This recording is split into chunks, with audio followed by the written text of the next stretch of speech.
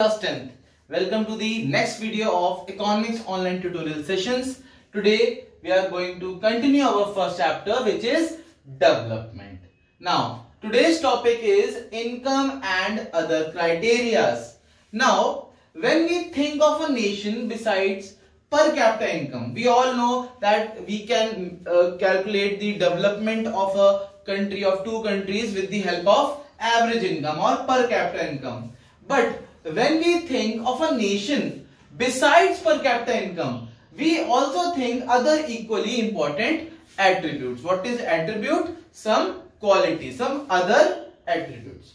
Now, you all know what is per capita income? Per capita income is total income of a country divided by its total population. With the help of per capita income, you can calculate the average income of the country. Now, the other attributes we are talking about the other equally important attributes. Now the first attribute other than per capita income is infant mortality rate. Now what is infant mortality rate? The number of children dying. The number of children dying before the completion of one year. Before their first birthday, they die out of out of thousand live children born in a particular year. For example, in a country, 1000 people, 1000 children born and out of those 1000 children, those children who died, the percentage of children died, suppose out of 1000, 500 people died out of 1000. Then 500 will be the infant mortality rate of that country. The number of children dying before completion of one year out of 1000 live children born in the particular year. Understood?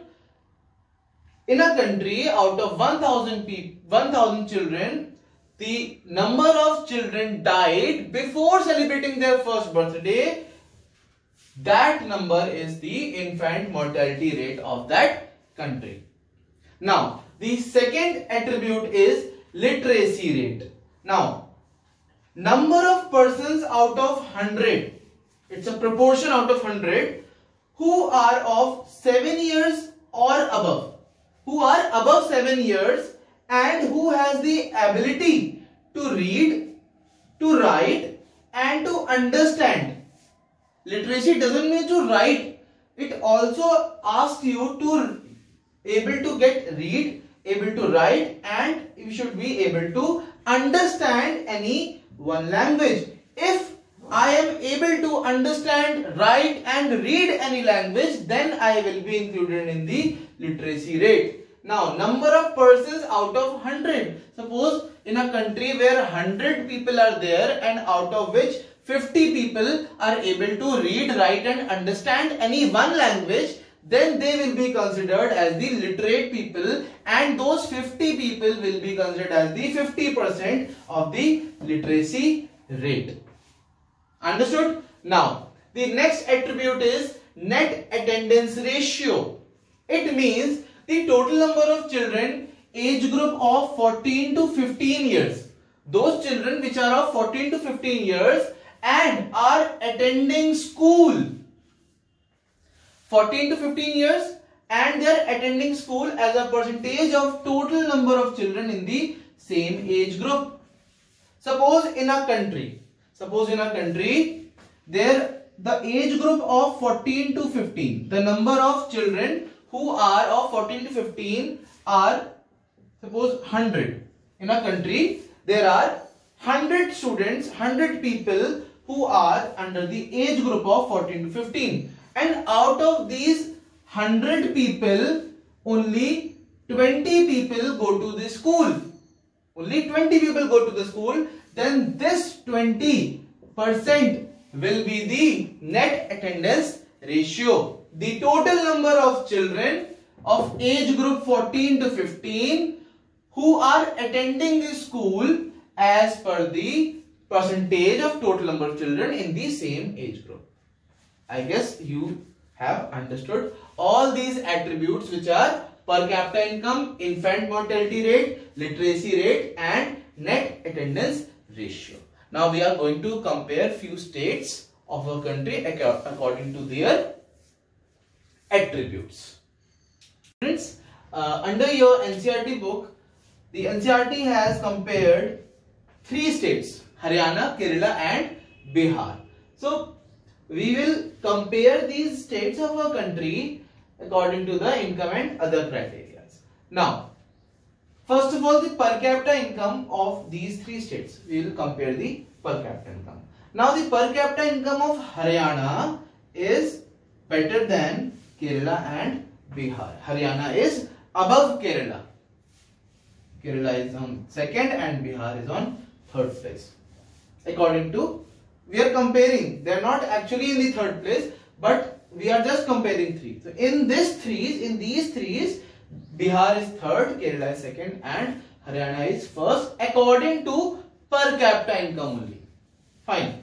So it says that Haryana is earning more. The average income of Haryana is more than these two states. Now when it comes to infant mortality rate, the Kerala is number one because it has the least number of deaths per thousand. It has the least number of deaths. Only 12 children have died and in Bihar 42 children died. So Bihar is the last here and Haryana is on the second spot. But Kerala is better here. Why Kerala is better? Because of the better medical facilities. Because Kerala is using the medical facilities, it has good doctors, it has hospital, it has nurses, it has medical, better medical facilities, it has more dispensaries. So Kerala is better in terms of infant mortality rate. It shows that Kerala has better medical facilities in comparison to other states.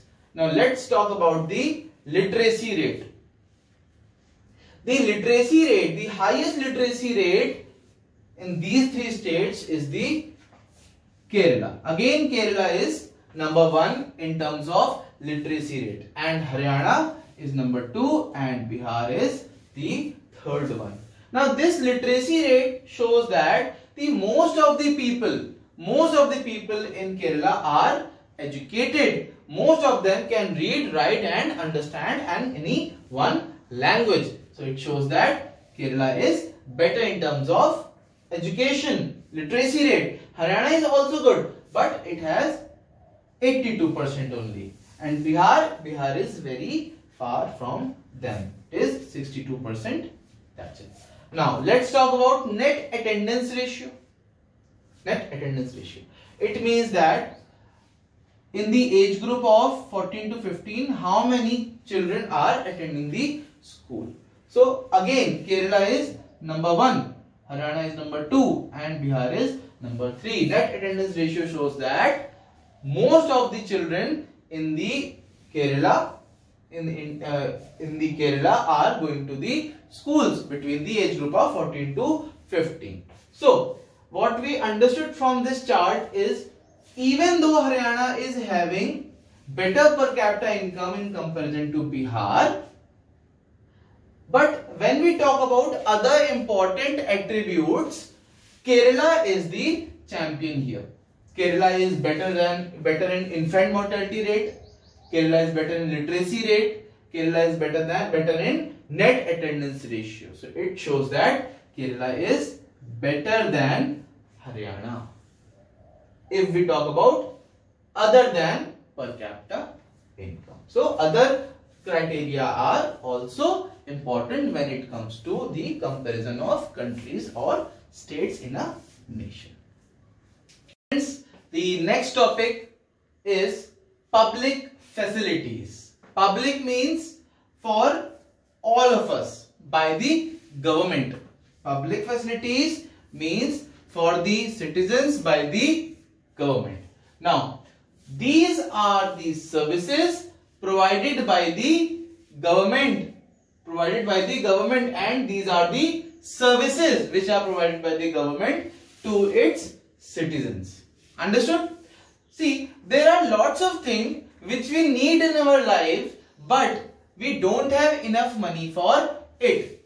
Now, the government's main objective is to provide those public facilities to citizens and businesses to manage social and economic activities smoothly.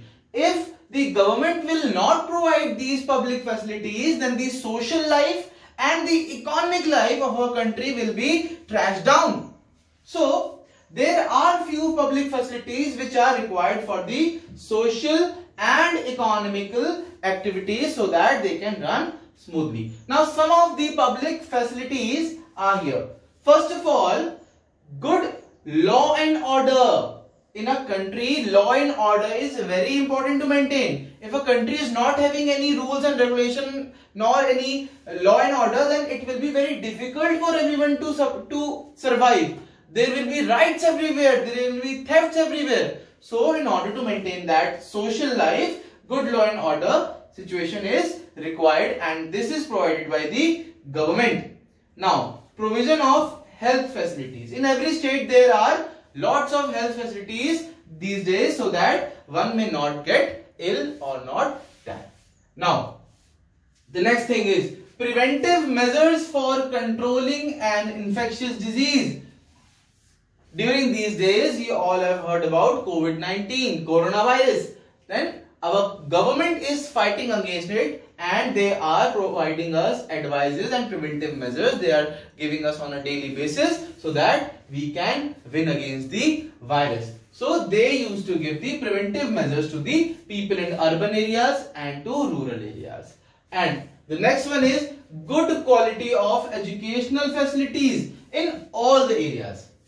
Our government is providing good educational facilities in the especially in the rural areas. They are opening schools there. So that each and every area of a country gets educated, gets the good educational facilities. Your NCERT book is a standard book which runs in all over the country. So equal and in all the areas. Next one is unadulterated medicines and eatables.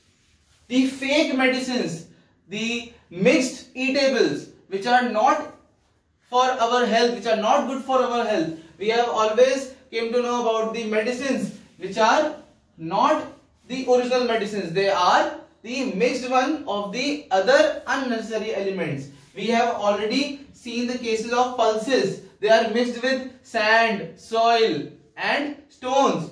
So these are the adulterated. In local language we call it milavati. So we want the purest form, the unadulterated form of medicines and it is the government manages the medicines and eatables so that they are unadulterated and it is provided to us.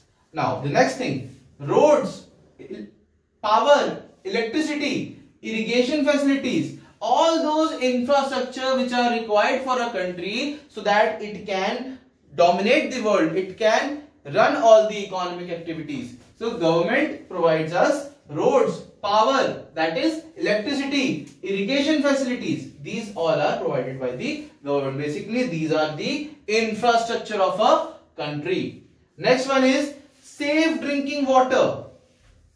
The government provided the safe drinking safe drinking water and the sanitation facilities the nagar palika. It's their responsibility so that our localities are neat and clean. And also the safe drinking water is sent to our homes now, the next one is public distribution system. In class 9, you all have studied about the public distribution system under which you studied about the ration shops and the buffer stock. How the government provides us the ration, the necessity of necessity foods, necessity of food grains at a very minimum average prices so that even poor people can have the ration, they can eat the food grains, they can have wheat, they can have ration at a very minimal cost. So this was the public facilities. I guess you all have understood what is public facilities. These are the services provided by the government to the citizens and they are of very high cost and we are not able to bear them as individuals. So these are the public facilities. I hope this video is enough for today and you all have understood the concepts. So we will see you in the next video. Till then, stay home, stay safe.